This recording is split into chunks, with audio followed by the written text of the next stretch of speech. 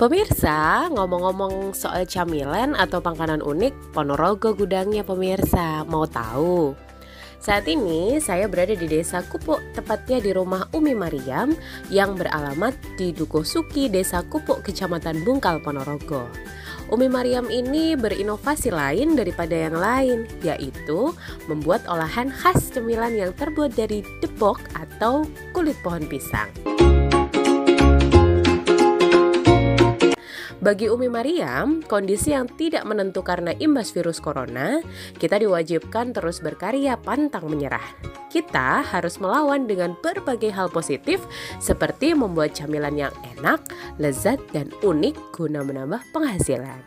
Berawal dari mencoba dan ternyata produk Umi Mariam diterima masyarakat karena rasanya yang gurih dan lezat. Kendati bahannya sangat sederhana, olahan debok dari jenis pisang kepok ini ternyata cukup diminati. Baginya dengan inovasi uniknya ini bisa menarik selera pembeli karena penasaran.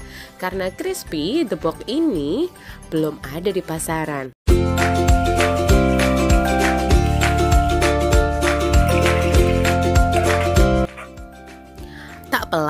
Pesanan harus berdatangan bahkan sampai dibawa ke luar negeri loh.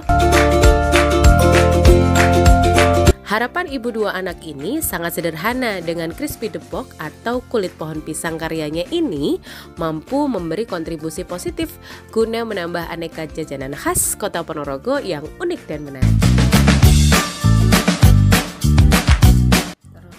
maksud saya usaha keripik depok saya ini bisa berkembang bisa lancar terus bisa jadi makanan kuliner khas Ponorogo.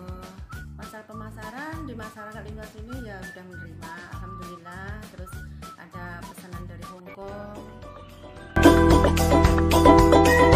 dari Ponorogo Yogi Wijanarko TV 5 melaporkan